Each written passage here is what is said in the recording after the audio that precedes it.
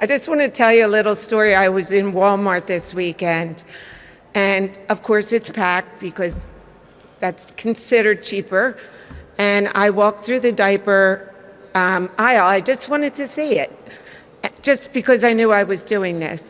And, and there were diaper literally ripped open. Everyone has seen that. So, what is that? You know what that is? That's a mother trying to get her kid changed when she can't afford to do it. And in my district, the average income is 50,000, and I'm sure everyone heard this before. I'm in Lower Bucks County.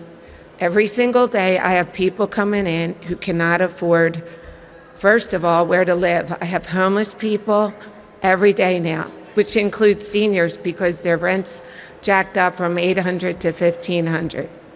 So now, on top of all that, a mom has to buy diapers and food and keep them healthy.